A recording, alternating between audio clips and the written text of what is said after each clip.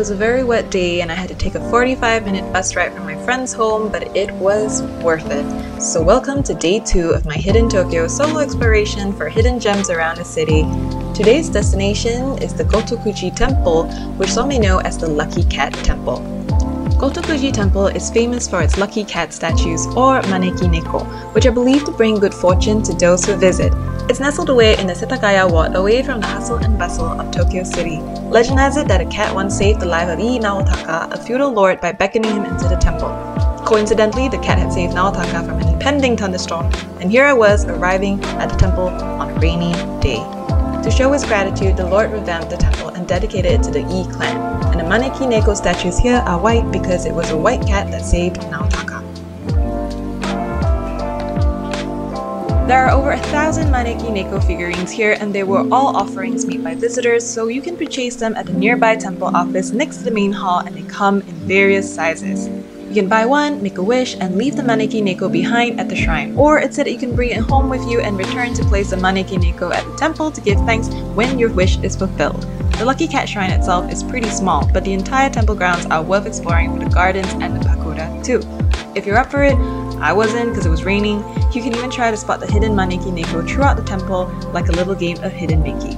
Oh, and I respected this dude for his vlog work. So that's a temple office to look out for to buy the Maneki Neko figures. I bought the second smallest one and an omikuji and it was truly a lucky cat temple since it was the first time, I think, that I pulled a daikichi, which means best luck. If you pull a bad luck one, you can tie it to designated areas on the temple grounds. If it's good luck, you can bring it home. Anyway, I read that the pagoda itself has random carvings of the lucky cat, so good luck finding them all. And there's also a small cemetery around where it said lies the remains of the Ii clan. If you happen to come during the spring season, you'll be able to enjoy tons of the sakura cherry blossom trees. From here, it was a short walking distance to the Gotokuji station where I'm headed to my next stop for a quick, cute bite.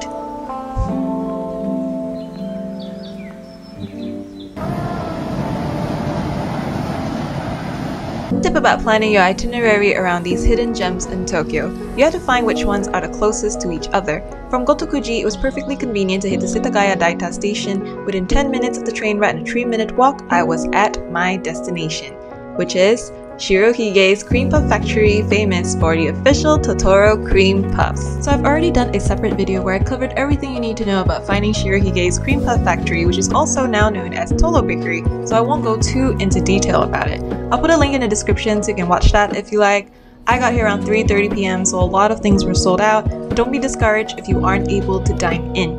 One tip, downstairs is for takeaway, so grab those cream puffs fast, and Obachan will even give you a little Totoro sticker to go with it.